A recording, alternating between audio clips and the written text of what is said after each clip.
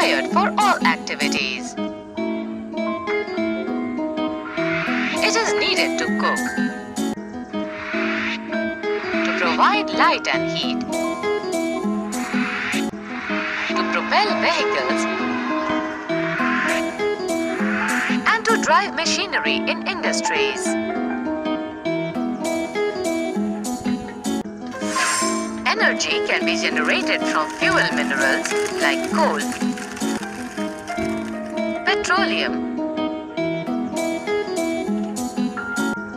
natural gas, uranium, and from electricity. Energy resources can be classified as conventional and non-conventional sources. Conventional sources include firewood, cattle dung cake, coal, petroleum, natural gas, and electricity, both hydel and thermal.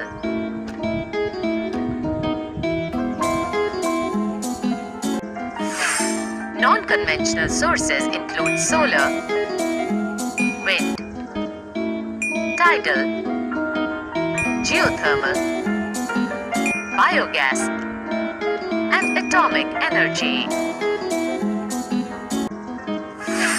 Firewood and cattle dung cake are most common in rural India.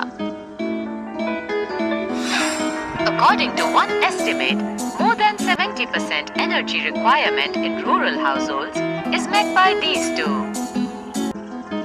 Continuation of these is increasingly becoming difficult due to decreasing forest area.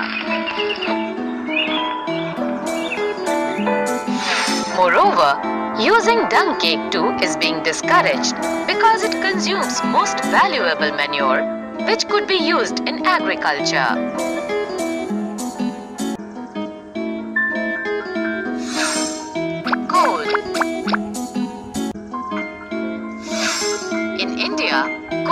The most abundantly available fossil fuel.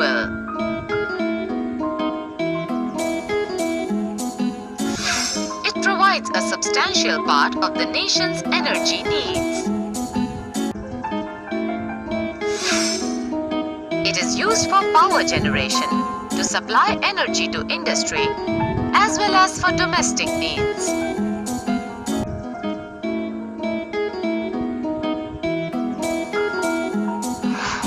India is highly dependent on coal for meeting its commercial energy requirements. As you are already aware that coal is formed due to the compression of plant material over millions of years.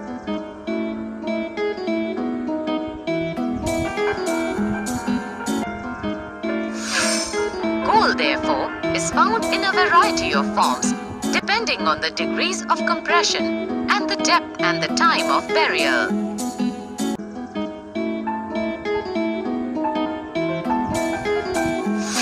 Decaying plants in swamps produce peat, which has a low carbon and a high moisture content and low heating capacity. Lignite is a low-grade brown coal which is soft with high moisture content. Principal lignite reserves are in Neyveli in Tamil Nadu and are used for generation of electricity.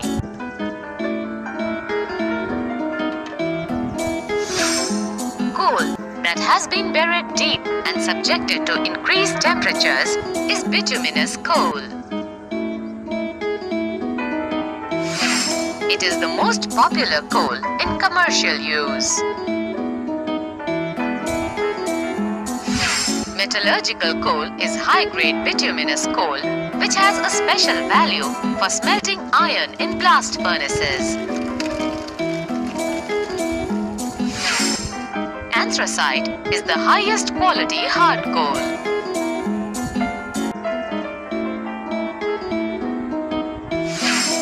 In India, Coal occurs in rock series of two main geological ages, namely Gondwana, a little over 200 million years in age, and in tertiary deposits, which are only about 55 million years old.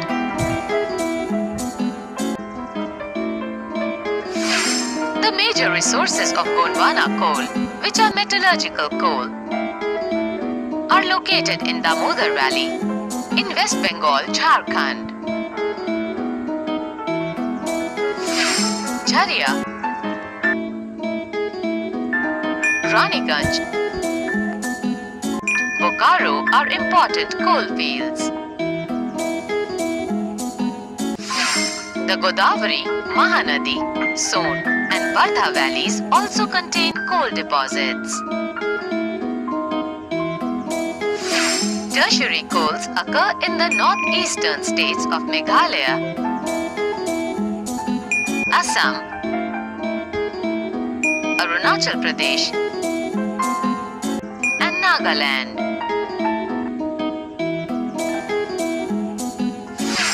Remember, coal is a bulky material which loses weight on use as it is reduced to ash. Hence, heavy industries and thermal power stations are located on or near the coal fields. Petroleum. Petroleum or mineral oil is the next major energy resource in India after coal.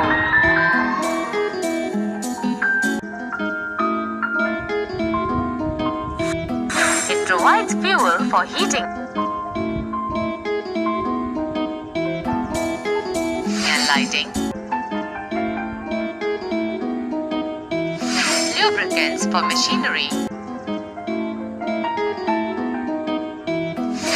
and raw materials for a number of manufacturing industries.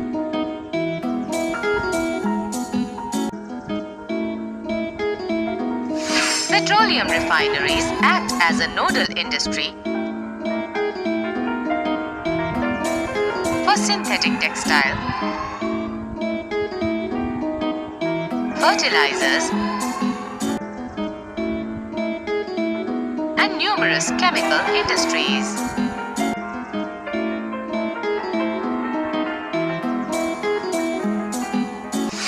Most of the petroleum occurrences in India are associated with anticlines and fault traps in the rock formations of the tertiary age.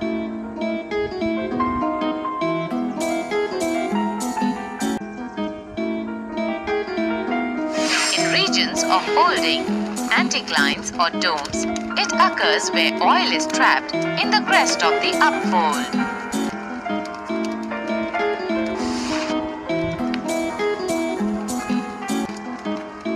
The oil-bearing layer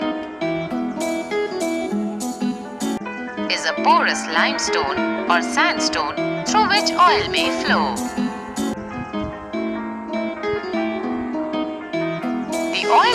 Prevented from rising or sinking by intervening non-porous layers.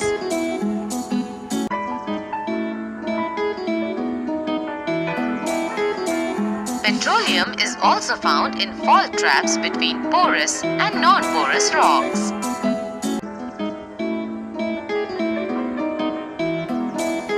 Gas, being lighter, usually occurs above the oil.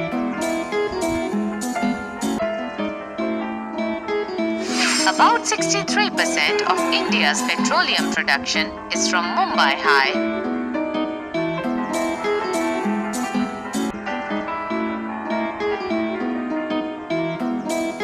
18% from Gujarat and 16% from Assam.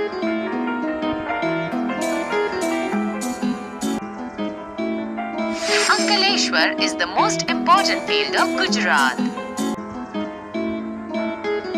Assam is the oldest oil producing state of India. Digboi, Kalkatia and Moran Hugrijan are the important oil fields in the state.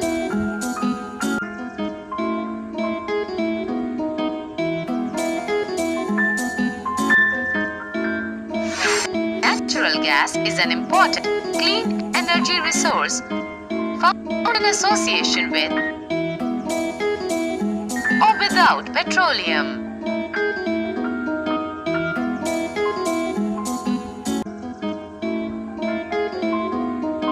It is used as a source of energy as well as an industrial raw material in the petrochemical industry.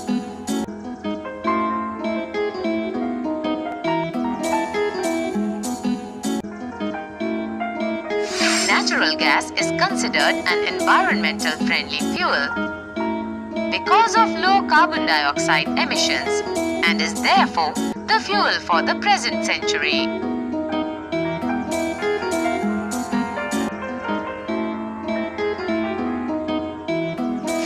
Large reserves of natural gas have been discovered in the Krishna Godavari basin.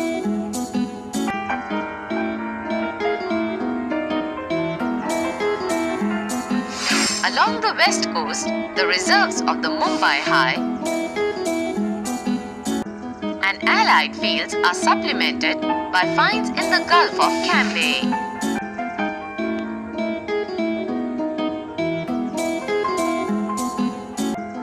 Andaman and Nicobar Islands are also important areas having large reserves of natural gas.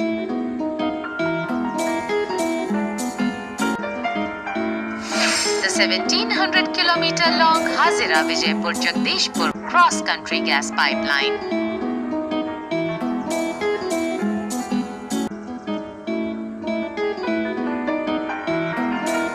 links Mumbai High and Bassein with the fertilizer, power and industrial complexes in western and northern India. Artery has provided an impetus to India's gas production.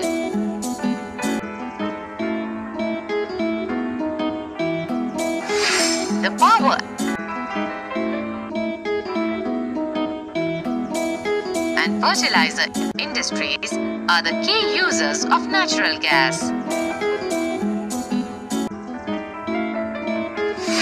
Of compressed natural gas or CNG for vehicles to replace liquid fuels is gaining wide popularity in the country.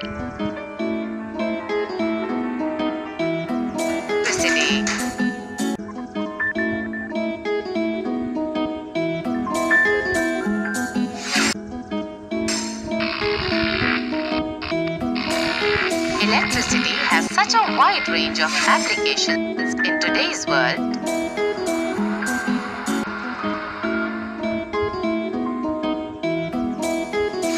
per capita consumption is considered as an index of development.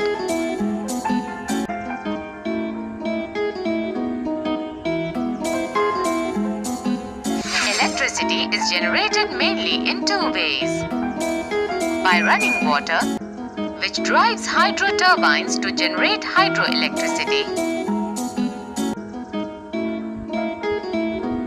and by burning other fuels such as coal, petroleum, and natural gas to drive turbines to produce thermal power. Once generated, the electricity is exactly the same.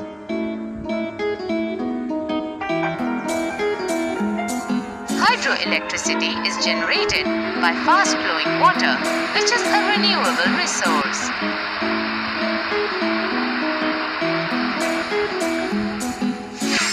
India has a number of multi-purpose projects like the Bhakra Nangal,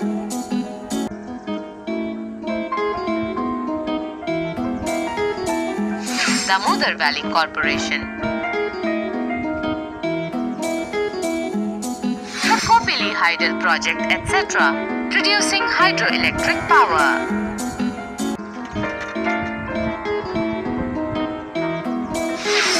thermal electricity is generated by using coal, petroleum and natural gas.